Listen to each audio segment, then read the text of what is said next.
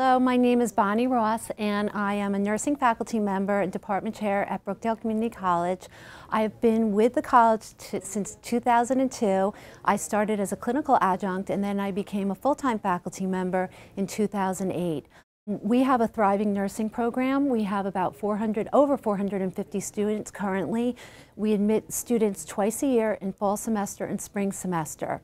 Our students graduate the program with an associate's in applied science and nursing, and they're eligible to take their RN boards when they graduate. Many of our students go on to four-year colleges. They easily transition. Uh, most of the schools accept all nursing courses and required courses as well.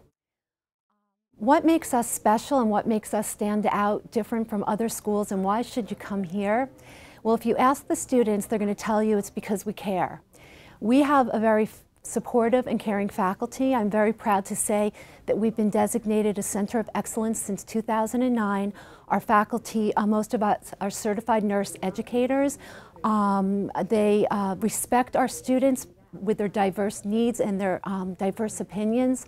Um, if you ask a student from the first day that they come into the program, they feel cared about and supported.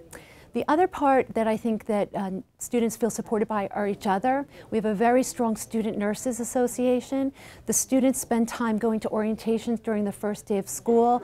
They spend time um, having meetings with outside, um, outside um, speakers, and they also have a very successful peer tutoring program. So all in all, I encourage you to consider nursing or something in health science. And if you do, just go back to the Brookdale webpage. You can type in nursing and hopefully we can answer some of your questions. Good luck.